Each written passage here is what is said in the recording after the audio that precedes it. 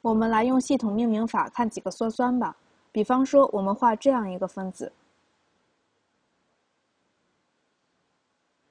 显然它是一个羧酸，这里有一个羧基。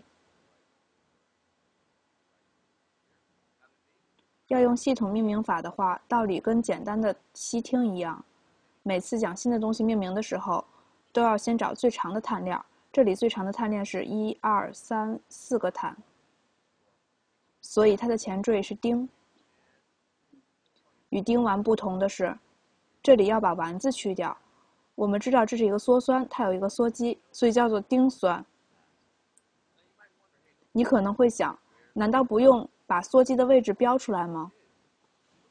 如果你仔细看看羧酸的位置，你就会知道羧基总是在碳链的末端。所以不用标明位置。不但如此，编号还是从羧基碳开始。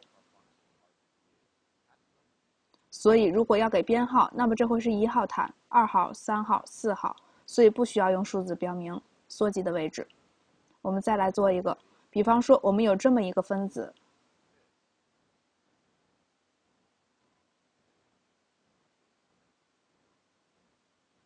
我在这里再加个碳吧。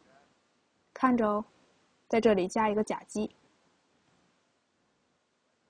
在这里，很明显是羧酸，但是要给它系统命名，我只需找出最长的碳链，这里有一二三四五六个碳，所以应该是己，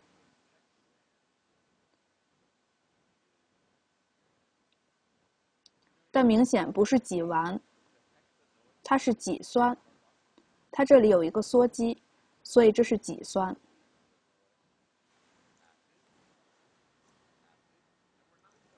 还没有做完，因为还有一个甲基，在这里，它是连在我们需要从羧基碳开始编号，一二三四五六号，它是连在三号碳上的，所以这是三甲基己酸。我们再做一个。假设这个分子是这样，这里有一二三四五六七个碳，然后是我们的羧基。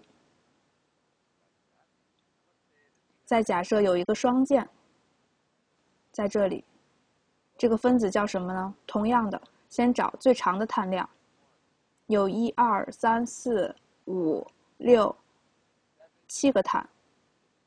所以前面是庚，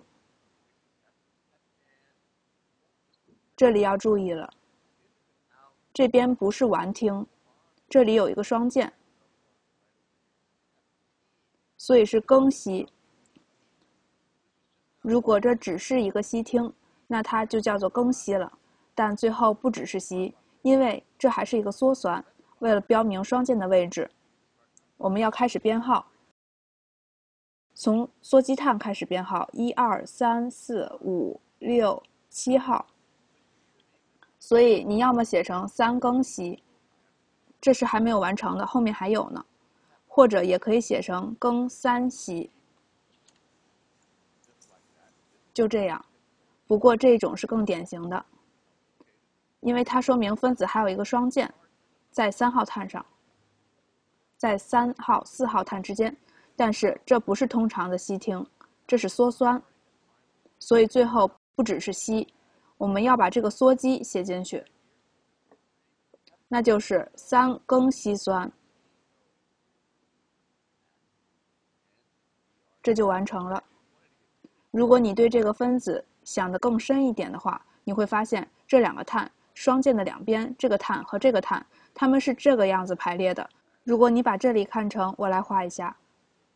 它们都还有另外的氢，我没有画出来，它们只是隐形了。但如果你要重新表示这个分子，你可以画成这样，把这两个碳画成这样：这个碳有一个朝上的氢，这个碳有一个朝下的氢，右边这个碳连着一个大的官能团，我把它称作 R，那么这是 R。而左边的这个碳，我用绿色表示。也连着另一个官能团，有三个碳的官能团，我们称它为二撇。如果你这样看这个分子，两个官能团是连在双键的两侧的，它们是互相远离的。所以，如果你愿意，你也可以叫它反式三庚烯酸。